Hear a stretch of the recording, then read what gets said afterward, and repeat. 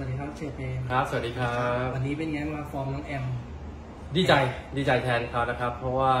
เขาก็ซ้อมหนัก แล้วก็คราวที่แล้วที่เขาโชว์ฟอร์มมาเนี่ยอาจจะได้เต็มที่เพราะอาจจะยังตื่นเวทีหรือว่ายังไม่มีความมั่นใจในตัวเองมากขนาดนั้น แต่สำหรับการ train fight เนี่ยเอ่อเขาได้สร้างความมั่นใจแล้วก็ก่อนที่เขาขึ้นเวทีเนี่ยสิ่งเดียวก็คือเราพยายามทำให้เต็มที่มีความมั่นใจ เพราะว่าอาวุธจริง ๆ ของน้องเขาเนี่ยหนักทุกอย่างอยู่แล้วครับทุกอย่างคือถ้าเราอยากทำได้อยากได้ไขว่คว้ามันเราต้องทำได้อยู่แล้ว ครับ เห็นบอกว่าไป แบบว่าไปจูงมือขึ้นมาเองเลยใช่ครับก็จเพราะอะไรริงอะๆได้เห็นเขาต่อย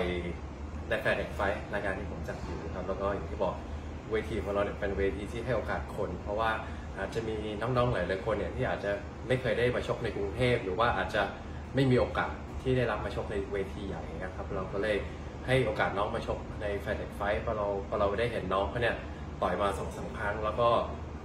ได้เข้าไปต่อยใน World to One ด้วยซีซั่นแรกเนี่ยครับแล้วก็เห็นเฮ้ยเด็กคนนี้มีแวว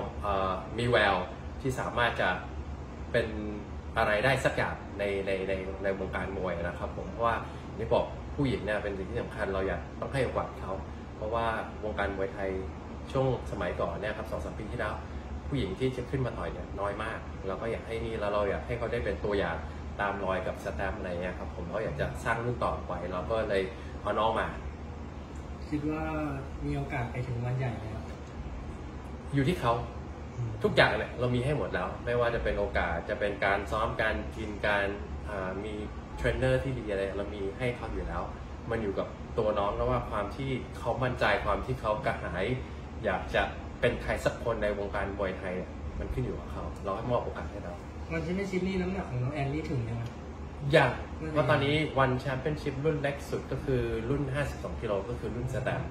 ก็ต้องดูกันไปก่อนนะครับ เพราะว่าไม่แน่อย่างที่บอก ONE Championship เดี๋ยวนี้เขาก็บุกตลาดทั้งเอ่ออเมริกาทั้งเอเชียทั้งเลยอะอาจจะมีรุ่นเพิ่มมากขึ้นก็ได้อืมทิ้งท้ายเลยครับฝากน้องแอ้มหนะครับโอ้โหวันนี้โชว์ผลงานสุดครับก็ดีใจสำหรับแอ้มนะครับ แล้วก็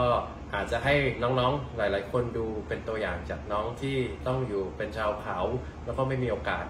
ณวันเนี้ย ONE ลุมพินี ONE Championship เนี่ยมีโอกาสให้คุณแล้ว ขอให้น้องอย่าท้อขอให้น้องขยันในการซ้อมโอกาสมันจะมาแน่นอน เพราะว่าไม่ว่ายังไงเนี่ยเราต้องหานักกีฬาที่ดีที่สุดและให้โอกาสกับเด็กนักกีฬามวยไทยทุกคนครับขอบคุณขอบคุณมากครับ